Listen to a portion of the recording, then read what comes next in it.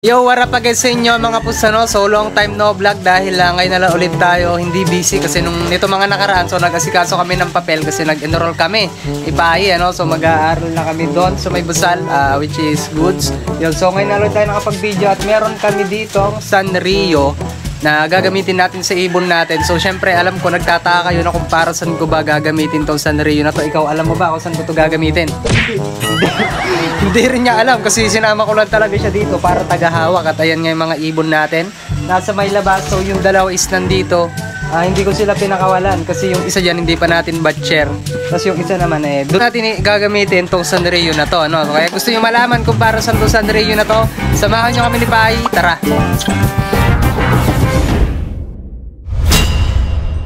Sige na, kunin mo na yung ibon, yung kulay brown singseng at ito Sanrio, ilalagay muna natin dyan. Sige. Ito kasi di natin pwedeng pakawalan to red bar kasi hindi natin siya batcher kasi bigay lang sa atin yan ni Pepong. Buti sana kung medyo bata pa siya. Ayan. Sige, labas mo na pens. Dito. Kasi ito nakita ko lang to no, ah, hindi ko sure na kung effective ba talaga to dito sa Pinas. Kasi nakita ko lang to sa YouTube kagabi, sa may YouTube short. Yun nga lang, di ko sa inyo mapakita kasi makaka-copyright tayo. Ayan, so gagamitin natin tong i- ah, Sanrio na to, sa ibon na to. Kasi may nakita ako sa YouTube, so di ko alam kung karera ba yon kasi yung sport sa kalina ng kalapate, ah, pa- paano ko ba i-explain? Parang ganto, meron silang ganyan, yan, meron silang ganyan na nakatayong malaki tapos parang ihahagis nila yung ibon doon so ma mapabilog yun na ganun eh. Ibang lahi kasi, ano ba lahi no? Basta may lahi sila. Ayun, binabato lang nila yung ibon nang nakatape yung ah, buntot. Sige, pakita mo nga yung buntot. Ayan, yung buntot nila, kumbaga ito, may tape yan dito. Nakaganyan yung buntot. Okay, so may tape yan dito. Tapos nila hinahagi. So, di ko alam kung para saan ba yung purpose nun. Kasi, hindi ko maintindihan yung lengguwahe. Hindi siya English eh. Basta parang dugto-dugtong, parang mga Latin, ganun. So, to, nakuyurious lang ako, no? Kaya tetestingin natin kung ano ba mangyayari sa ibon natin pag ginawa natin yung ganong style. So, ganyan na ganyan dapat ang mangyayari. Kaya, ang ang gagawin natin is lalagay natin to Sanrio at sa ganon malaman natin kung ano nga ba ang ibig sabihin nun sa kanila no? Kaya wala naman masamang itry. So na-curious lang talaga ako. Kaya hindi naman to ano hindi ko naman sinasabi na gayahin nyo to. So tetestingin lang natin. Ah, sige na bye. Ah, wala kasi tayong patungan eh. Iyan mo yung bakbak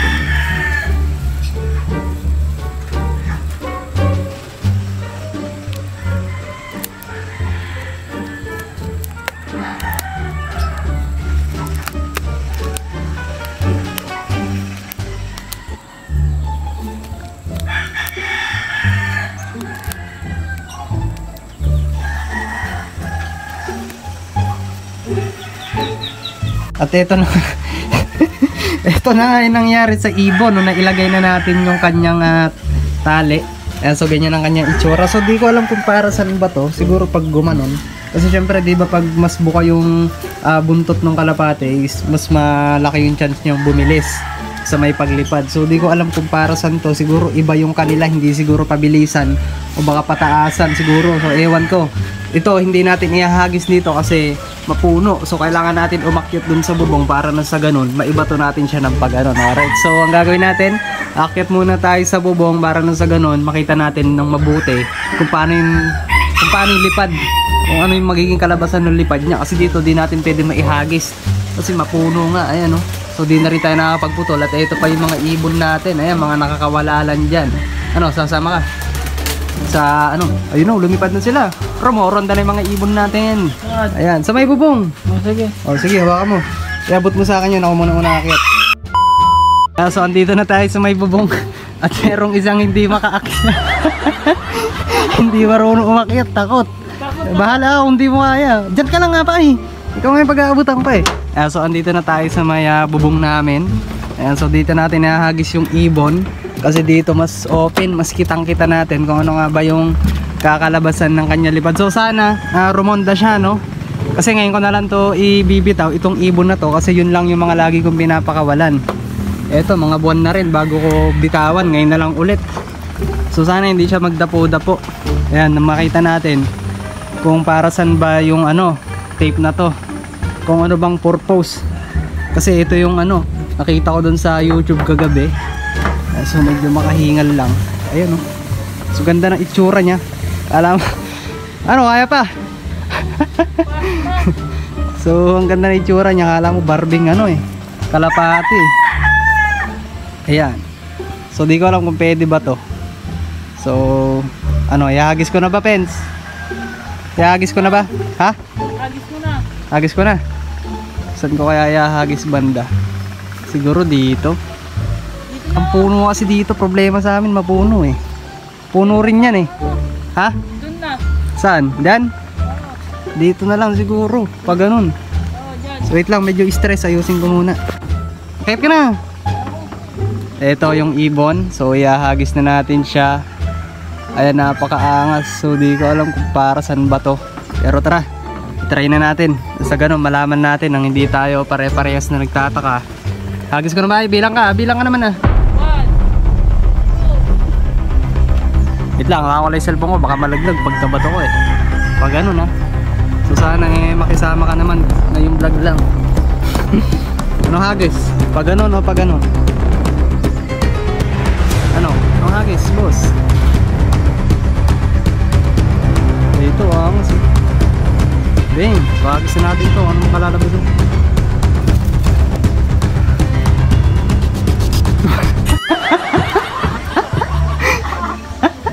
Dua po ba ni?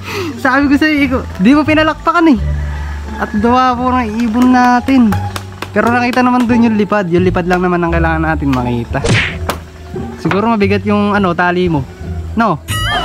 Mabigat yung tali mo. Bugawin mo. Baka lumipad. Ayan oh. So ngayon lang kasi ito nakalabas talaga. Lagi ko lang talagang pinapakawalan yung tatlo dun na yung bird. Ayun oh. Ganon siya lumipad. Nakaganon yung pakpak. Ay yung buntot. Mali. Bumaba na ba? Doon lang siya eh. Eto. Ito yung sinasabi ko sa inyong ito lang yung mga pinapakawalan natin sa araw-araw. Yung apat na yan. So lagi na iwan dito yung dalawa. Yung pinalibad natin yung may tali tsaka ito lang. So ito lang lagi kong pinapakawalan kasi ito lang yung mga pang summer natin. At yung isa na wala na pa. Ay, paano yan ay? Ay no. Saan? Sa bubong. Ayun na, sa bubong. So ngayon na lang kasi siya nakalipad, no? Nasanay kasi dito nakakulong at puro dapo. So ito lamang rumoronda sa atin. Eh, dapat pala. Ito kasi, ito sana yung kukunin natin kanina, yung tatalian natin. Ang kaso nga lang, nasa labas.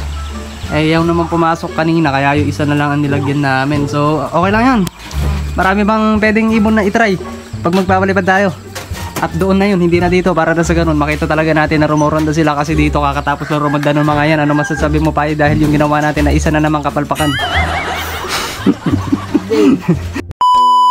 Yo, so hanggang dito na lang yung video natin for today. So isa na namang uh, panibagong kaalaman na hindi natin mawari kung ano nga bang kinalabasan, kung yun ba yun talaga. So di ko alam kung nakita na mabuti sa video. So isusumbon na lang mamaya habang ina-edit ko, okay? So maraming salamat sa panonood. Kung nagustuhan nyo yung video na to, huwag nyo pa rin kalimutan subscribe ang channel ko, Topos Vlog TV. At syempre, yung page natin, Topos Vlog TV. So lagi ako nag-upload doon. Ah, unlike dito sa may YouTube, ano? So maraming salamat sa panonood. Kay Payo, salamat sa paghawak. And at sa hindi mo pag-akyat.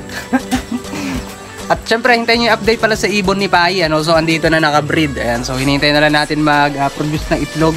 At sa ganun, eh, ma-update namin kayo. So, maraming salamat sa panonood. Happy fly, stay high sa inyo, mga poots.